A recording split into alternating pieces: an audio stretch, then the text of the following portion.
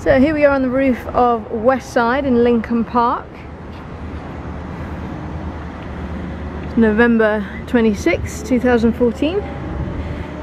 Those silver balls there in the distance, that's part of the Miracle Gardens.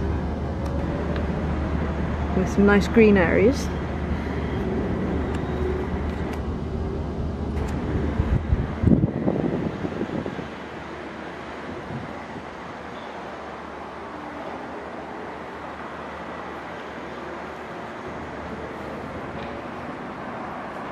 Here's the swimming pool. That should be filled in soon. Great area for sunbathing up here. We've got the sun right above us. There's the AC units on the roof. And that is Dubai Marina in the distance there.